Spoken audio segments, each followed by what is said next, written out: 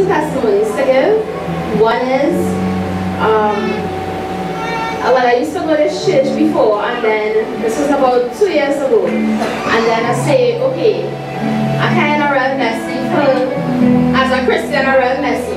So I say I'm taking a break from church, get myself together, then I'll go back to church. And one month passed, two months passed, one year passed, two year passed, and I keep getting, my life just keep getting messier and messier. And I said, okay, like, I just stopped going to church. I was like, okay, I'm not going to church. I want to fix it first and then I will go to church. And I just couldn't get my life together. I just couldn't get things.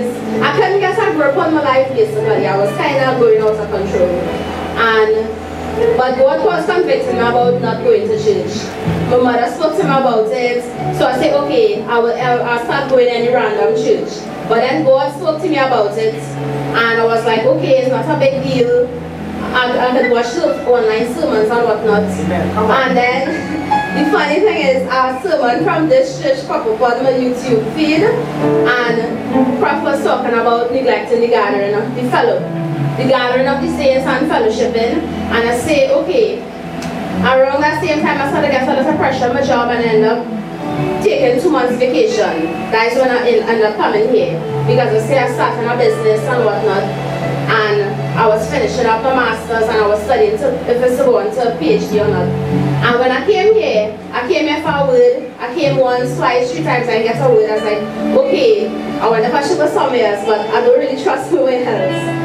I say I come here. And if I'll just keep coming until I get a word. And it turns out that I end up getting Deliverance was like what was originally came for initially. And Prof ended up giving me a word, Psalm Psalms 38, which was shocking to me because it had something to do with the wrath of God, kindle and repentance and iniquity and all this stuff.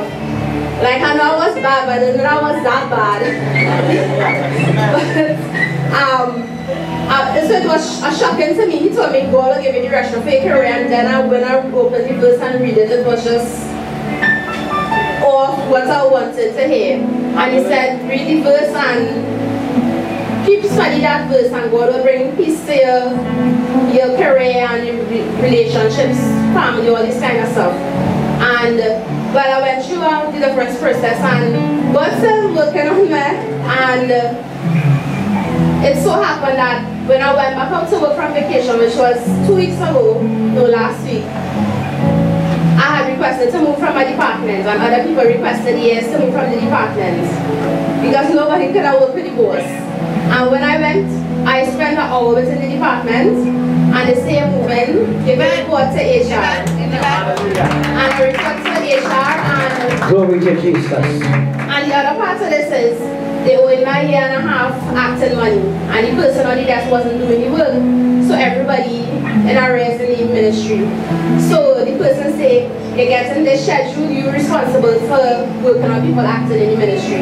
So basically I can work on more acting and I arrange to pay myself. Amen, somebody. Give it to Jesus. Amen. So there's many other plans that are in a man's heart, but the counsel of God shall prevail. Many people come for confirmation of their life, of what they have already made up their mind in their heart to do. They come stating they want to hear from God, but really what they want is a confirmation. And what they're doing is right, how they're living is right, what they say is right. Amen, somebody. Amen, somebody. But God will not change His word for anybody or for any man. He will not conform your life. The Bible He will conform His word. Amen, somebody. And that's what God did in her life. Amen, somebody. She wanted a word about her, her career, about this, about that. But God gave her a word about fixing her life. Was the Bible said before you can consider God, consider your ways. Amen, somebody. Amen, somebody. Some people think that they, before they can come, they get baptized eyes of the coming a, a place of worship. They got to fix your life. Amen. The, the more you think that way, amen, is the more messed up you get. But if you come and you realize that you cannot fix anything, but you need the greatest fixer, the greatest problem solver, the greatest physician that you need him. Amen, somebody. Hallelujah. That's what man needs to understand. That we need it. You cannot fix anything on your own.